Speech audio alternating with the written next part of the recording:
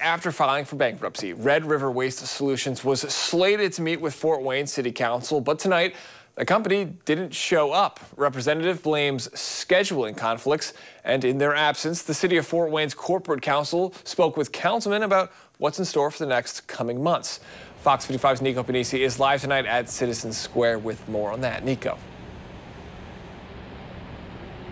Chris, Red River filed for Chapter 11 bankruptcy in the U.S. Bankruptcy Court in northern Texas last week, citing operational challenges caused by the COVID-19 pandemic. Fort Wayne City Council is already looking at alternative service providers, but they actually can't uh, take any action just yet while there's a bankruptcy filing.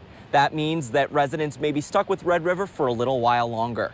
Out of all of her siblings, Janessa Leslie's household chore is taking out the trash. I will get in trouble if it does if it isn't done right. Issues with pickups are a nightmare for her large family. I live in a family of five, so trash is it's a lot and it's going to be piling up in the trash can if they don't come every week. The Leslies are just one of the 83,000 households in Fort Wayne that rely on Red River Waste Solutions for trash removal services. And families are left concerned. The company filed for Chapter 11 bankruptcy just days ago. It affords them certain rights and privileges, one of which is the opportunity to present a plan of reorganization.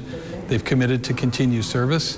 They want to continue service, and whether that's in the form of a reorganized company or uh, involvement of a partner we don't know yet and they don't know yet. Corporation Counsel for the City of Fort Wayne, Timothy Haffner, presented next steps at tonight's City Council meeting. Haffner says Red River has three paths moving forward. One, reorganize on a standalone basis.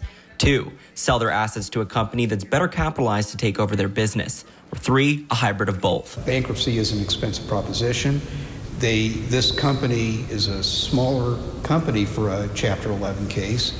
They really can't afford to stay in it that long. City Attorney Jay Jaffe says Red River has 120 days to propose a plan for reorganization. That can be extended up to 18 months. In the meantime, folks should expect operations to continue as normal. There should be no reason for panic. We just need to work through this, and we expect to do that. Now, let's say Red River completely falls through on service. They stop picking up, houses are continually missed. Does that mean that we're stuck with them? Attorneys say not to worry. Fort Wayne has recourse in bankruptcy court if they're unable to perform duties spelled out in their contract, freeing the city up to find a new contract with a different company. Reporting live at Citizen Square, I'm Nico Panisi, Fox 55 News.